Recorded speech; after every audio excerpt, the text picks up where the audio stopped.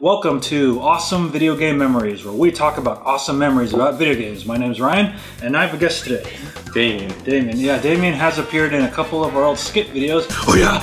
You wanna fight for it, you four-legged arachnid lover?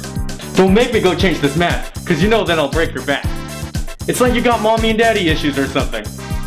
Would you say you fly-eating, wall-crawling webhead? But we're here today to talk about Marvel vs. Capcom 2. Specifically two, because it's on the Dreamcast and Dreamcast is awesome. So I started playing Marvel vs. Dreamcast 2 like way after the game was already like out. Like I bought it late because I never was able to afford games when it came out. Yeah, um, I remember um, when I first played Marvel vs. Capcom 2. uh, You know, I saw it in the magazines in like the year 2000. So, um, like months before it came out, I think like um, this is like around March 2000. I went out and paid $75 for the Japanese version. Wait, so you actually had a Dreamcast? You're one of the few people that owned a Dreamcast when the Dreamcast was out. Well, I didn't exactly buy it um, until the year 2000. I remember when it first came out. You know, I couldn't afford it. Yeah, Then- no one could. I was able to get a part-time job, so I was able to buy the Dreamcast. Oh man, I just it's weird for me because I didn't like find out about the Dreamcast till after I had like my PlayStation 2 and everything. I went back and when I finally did play Dreamcast, I'm like, why wasn't this more popular? Like, I know, it's a better system. That's right. So, anyways, um, so Marvel vs. Capcom 2. Uh, what was your initial reaction when you first started playing? When I first started playing, it was in the arcade actually, and uh, I sucked really, really, really bad. Yeah, yeah, me too. And I didn't know what the hell was going on with the tag, the tag outs, the fucking combos. But, sorry. I didn't know. I didn't know what was going on with the supers. Like you can combo, like you can combo the supers and all that. Like whatever. I had no idea what was going on. I just played Spider Man. I played Wolverine. And I played Cyclops because that's what I like.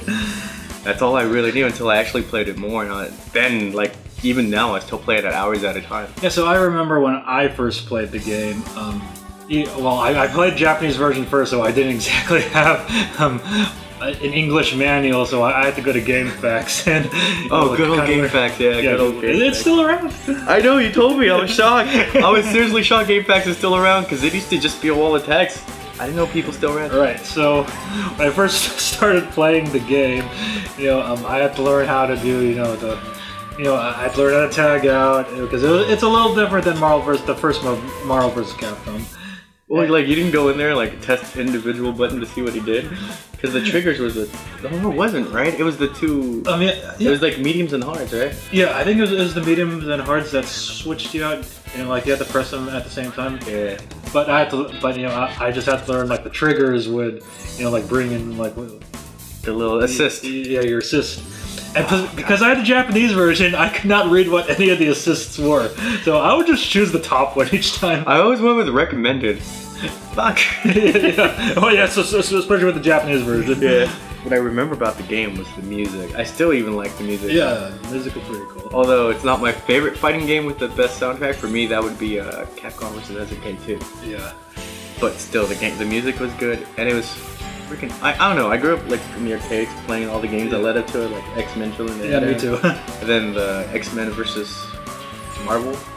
Wasn't it X Men? Oh no, X Men versus Street Fighter. yeah, X-Men versus Street Fighter, but Marvel Superheroes vs. Street Fighter. Then Marvel superheroes. Yeah. Then it just became Capcom versus DC, and then Capcom versus DC 2. And I played those in the arcade. And I was never good. Oh, I was. Uh, I don't think there was a Capcom vs. Did I say DC? Capcom vs. Marvel. I'm not tired at all. but yeah, dude, I just remember playing those games and like spending quarters on them, like yeah, me too. like a dummy, till I finally learned how to play.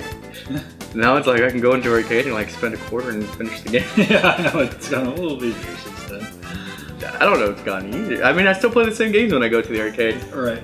but I just I know how to play them now. Yeah, so like, yeah, so like, what was your favorite team to use? oh, I can't. Oh, Iceman because he was hacks. I always like playing Spider-Man. But uh, I don't know. It just depends on like what superhero I was into like that week. Like right now, I'm really into Gambit, so I've been playing Gambit a lot. But you're wearing a Captain America shirt. Uh, that's because Tatum is gonna be amazing. Yeah. No, uh, yeah, Captain America is always like a staple character. Like I always go back to him, like right. Yeah, he's fun to him and Hulk Hulk. and Colossus. Um, Colossus, oh, I love Colossus. Yeah, I wasn't much of a Colossus player, to be honest. What? Colossus is amazing. He's like a tank. He just. I'm not really into the tank characters like Juggernaut and Hulk and Colossus. But he, act- he can actually move around and like do damage. Like he can dash across the screen if you use him. right. yeah, oh yeah, I've seen that. It's happened to me online, so You can play it online. 360 and the PS3. Did they do it for the PS3? Yeah. Because I'm not gonna play any game on that 360 controller. It's, uh, I don't know. I'm- I've never been a fan of the Xbox controller. Right. Going back to the Xbox, the original one that I still have. yeah, it's a pretty tough controller to use. The- with the yeah, yeah, they actually did release Marvel vs. Capcom 2 for the Xbox. Yeah, and it's worth a lot of money. Is it? Yeah. Why? It's on an Um, Xbox. because- I'm not a fanboy at all. because um, not many people, you know, bought that version of the game.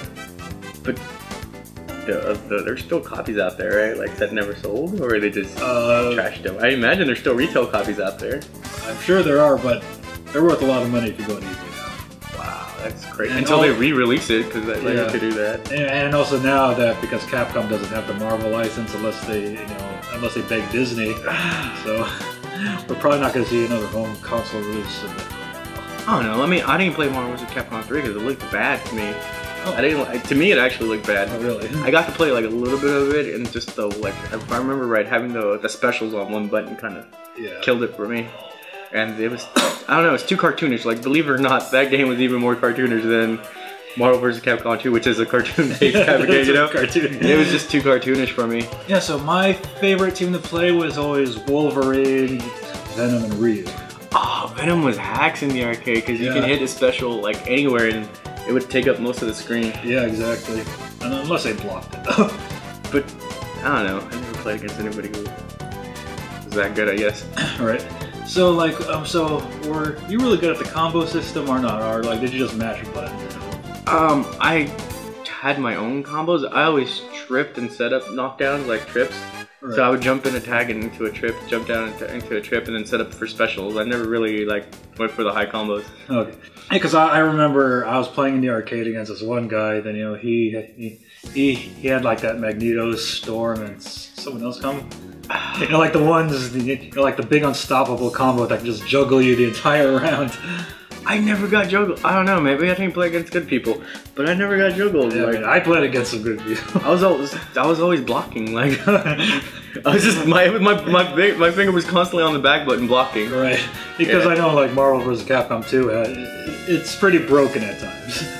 Well, yeah, you have like Iceman. Even if you block, you still take damage. Or was it like there was a way to switch uh, uh, Juggernaut out so he never took damage during his special uh, his Right. assist or whatever? I don't know. There was a lot of hacks, but I never really. I don't know. I didn't play it like that. I just played, I guess, casually. I never really bothered learning them. Or... Right, yeah, well, I'm mostly a casual player, but then, you know, I have played people in the arcade who are really good.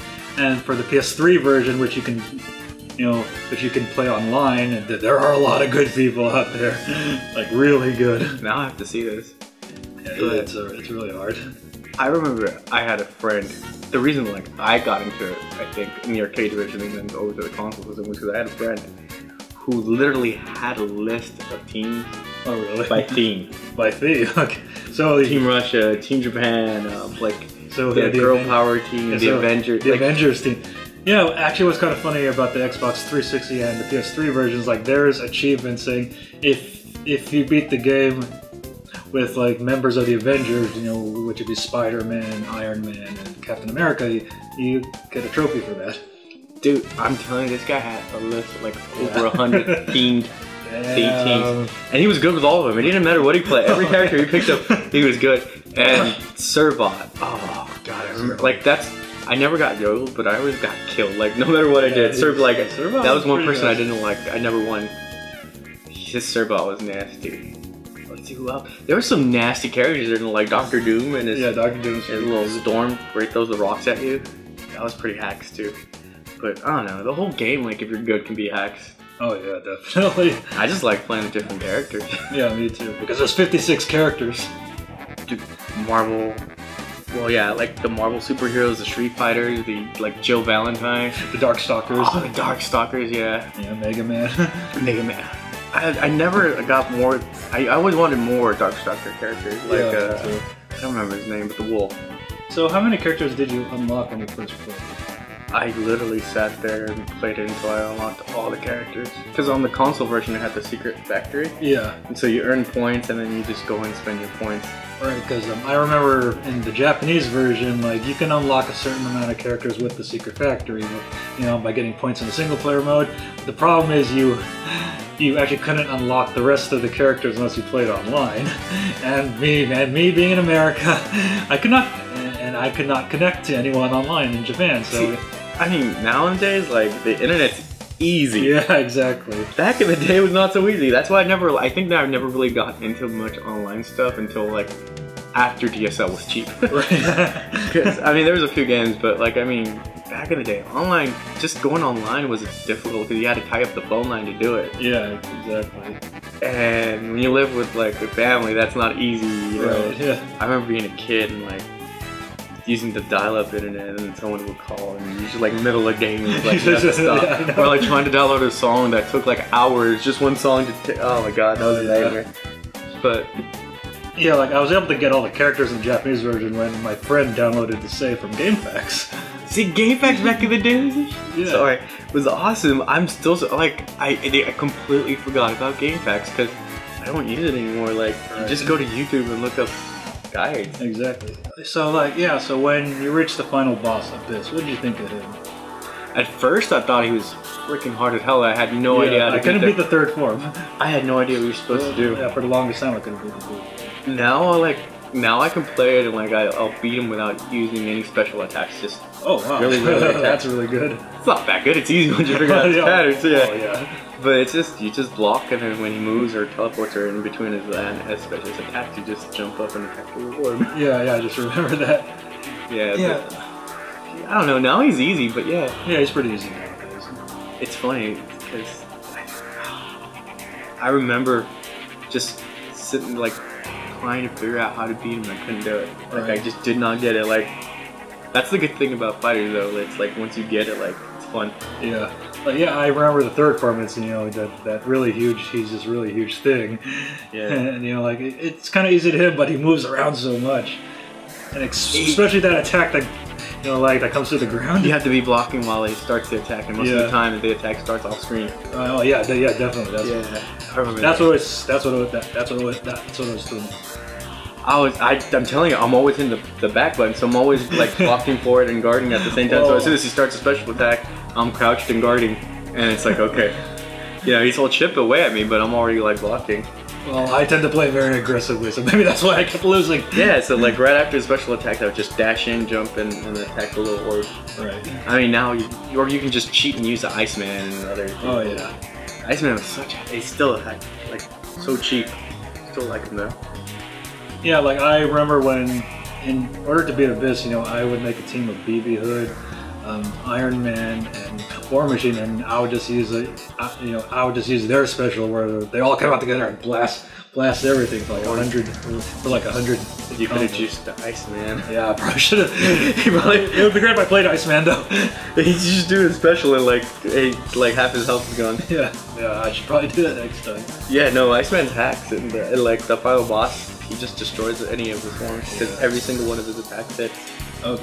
and he hits a lot. Yeah, I should try that next yeah. So also, what did you think of the ending? Even though the ending was the same for every character.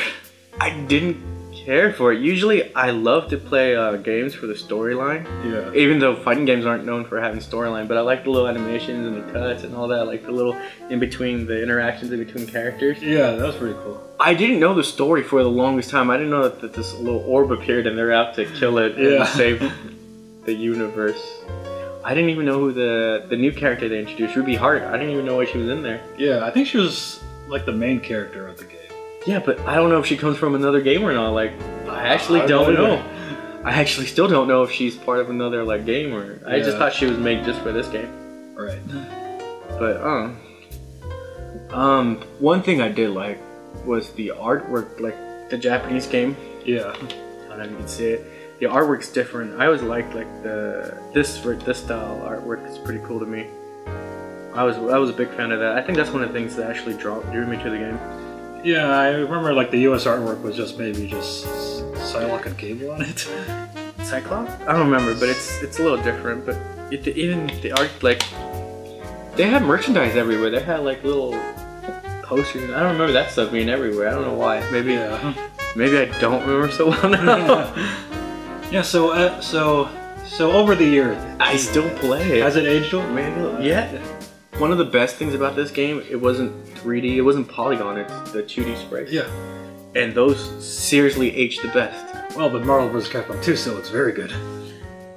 I like the way it looks better than Marvel vs. Capcom 3. Yeah. Even though it's shinier, it doesn't look good to me. Right. Yeah, I agree. That's one of the reasons I didn't get into or play that much. It wasn't because I don't play consoles, just because it doesn't look good to me. Right. Okay. Cool. Now, for anyone who hasn't played fighting games, would you personally recommend Marvel vs. Capcom 2? Yeah, definitely. It's an easy game to get into. It's definitely like easy to play, button mash. You can do great button mashing. Yeah, exactly. You can It's do amazing button button mashing. You really can. But if you want to be like get good, and it's a great game to get into because you really can Yeah. get good at it. Exactly.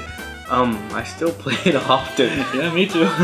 I, I, I, I still erase my save data and start over again just to unlock characters. So yeah, I definitely recommend Okay, it. alright, awesome, dude. Awesome.